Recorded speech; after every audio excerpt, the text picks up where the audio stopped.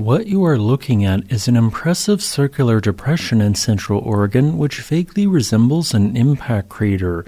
This impressive crater, aptly named Hole in the Ground, measures 5,100 feet wide and is a whopping 508 feet deep. With this circular profile, this feature must clearly be an impact crater, right?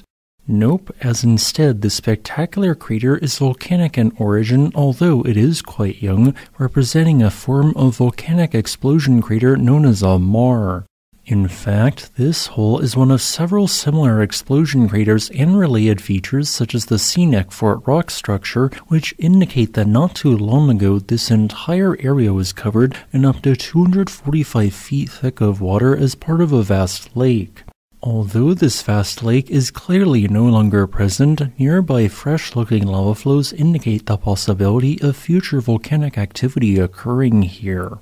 With the exclusion of these three young 10,000 to 15,000 year old lava flows, the dozens of regional vents which erupted through or adjacent to this ancient lake comprise what is known as the Fort Rock Volcanic Field. The Fort Rock Volcanic Field can be found in central Oregon, where it is 25 miles east of the town of Gilchrist. The namesake of this field, Fort Rock, forms an impressive ring like structure in the center of the volcanic complex. Because of this ring shape, this landform is known as a tuff ring. So, how did Fort Rock form? Heading to a time 75,000 years ago, much of central and southern Oregon was covered with large lakes related to the vastly different colder climate from the ongoing Ice Age. One of these lakes was known as Fort Rock Lake and covered the entirety of the modern day towns of Christmas Valley, Silver Lake, and Fort Rock. In fact, here are the depths this lake reached during its maximum extent covering an area comparable in size to the modern Great Salt Lake in Utah. This area marked the very western edge of a unique volcanic province known as the High Lava Plains. Volcanism in this region was triggered by the fact that a section of the subducting Juan de Fuca tectonic plate had, in geologically recent times, snapped downwards at a deeper angle. This caused material in the mantle to rush upwards and fill the previously occupied space, soon rising into the crust and intruding as magma. After reaching shallow depths, the heat from the rising magma interacted with wet sediment beneath the lake, causing water within them to flash to steam and greatly expand by a factor of 1700. This built an incredible amount of pressure, eventually becoming sufficient to break overlying rock, resulting in magma and steam exploding upwards, ejecting debris to form a rain structure which was 2,300 feet wide. A total of 35 other tuff rings formed underneath or adjacent to shorelines of Lake Fort Rock between 400,000 and 25,000 years ago.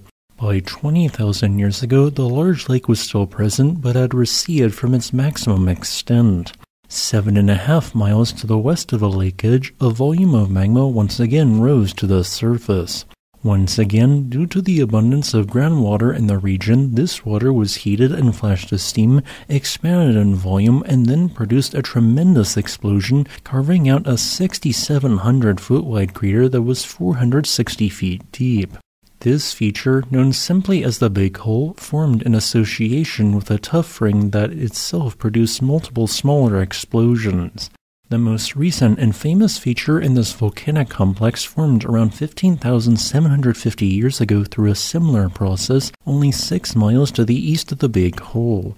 As basaltic magma rose towards the surface once again, it interacted with groundwater to create an explosion at 500 feet depth, which released energy equivalent to the detonation of 21,500 tons of TNT, or essentially equivalent to the Trinity nuclear weapons test in 1945. This ejected car-sized boulders of rock more than 12,000 feet away, occurring alongside the generation of not only pyroclastic flows that likely traveled 1 to 5 miles away in all directions, but also the creation of an eruption plume which shot to a height of 40,000 feet as the estimated 75 million cubic meters of ash with minor lava fragments fell back to the ground with winds largely blowing towards the east, it created a raised rim 170 feet higher than the original topography. By the time the dust and ash had fully cleared, what remained was a mile wide maar known today as the Big Hole in the Ground.